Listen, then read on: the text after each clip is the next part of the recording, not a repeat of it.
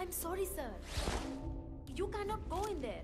You'll have to make an appointment with Miss Petrova first.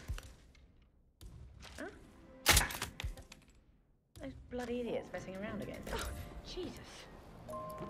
You can hear me, right? Stay calm.